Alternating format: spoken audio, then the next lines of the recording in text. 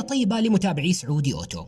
اليوم راح نتكلم عن سيارة مهمة جدا ومنتظرة بشدة اللي هي أول سيارة SUV إنتاجية من شركة جينيسيس وعلى الأرجح راح تحمل اسم GV 80 انتشرت من بضعة أسابيع صور ولقطات مسربة يقال إنها لجينيسيس GV 80 الإنتاجية.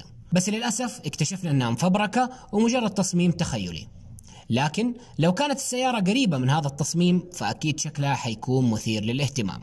ويبدو أنها مبنية على اللغة التصميمية الجديدة للشركة الكورية الفاخرة. عشان كذا في شبه بينها وبين شقيقتها G 90 2020 خصوصا في الواجهة اللي بتتميز بشبك أمامي كبير وأنيق. لكن في نفس الوقت من الواضح إنه ال SUV القادمة راح تستوحي تصميمها بشكل عام وتفاصيل كثيرة من الطراز الاختباري اللي شفناه من سنتين في معرض نيويورك للسيارات. مثل الأضواء الرباعية في الأمام والخلف، وأسفل الواجهة في فتحات تهوية على الشكل شبه منحرف مع منحنيات بتوجه الهواء لداخل القنوات. وفي الخلف بنلاحظ الجناح العلوي ونظام عادم مزدوج هو نفس اللي شفناه في جي 90. على كل حال التصميم اللي قدامكم تخيلي زي ما ذكرنا. لكن العدسات اصطادت السيارة في عدة مناسبات خلال خضوعها لاختبارات الشركة. والحقيقة إنه معظم التفاصيل اللي ذكرناها عن التصميم بتأكدها اللقطات التجسسية.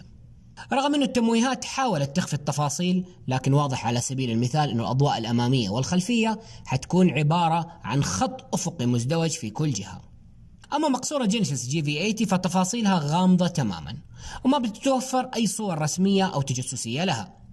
بس الأكيد إنها ما راح تكون بنفس تطور مقصورة الطراز الاختباري بل راح تكون مشابهة لطرازات جينيسيس الجديدة. بالنسبة للمحركات التقارير متضاربة بخصوص المحرك اللي راح تعتمد عليه أول SUV من جينيسيس. لكن الأغلبية بتقول إنها راح تجي بمحرك V6 مزدوج التيربو سعة 3.3 لترات. اللي بيعطي قوة 365 حصان وعزم دوران 509 نيوتن متر. وممكن كمان نشوفها بمحرك V6 سعة 3.8 لتر أو محرك V8 سعة 5 لتر. وبغض النظر عن المحرك الأساسي من المتوقع أنها راح تتوفر بمحرك هجين في المستقبل. حنعرف كل التفاصيل لما تكشف العلامة الفاخرة عن جينيسيس GV 80 في بداية العام القادم. لكن في الوقت الحالي حابين نسمع إيش رأيكم في السيارة؟ وكم تتوقعوا يكون سعرها وهل حتقدر إنها تنافس في فئة ال SUV الفاخرة؟ شاركونا آراءكم في خانة التعليقات ولا تنسوا تضغطوا لايك وتشتركوا في القناة ليصلكم كل جديد في عالم السيارات.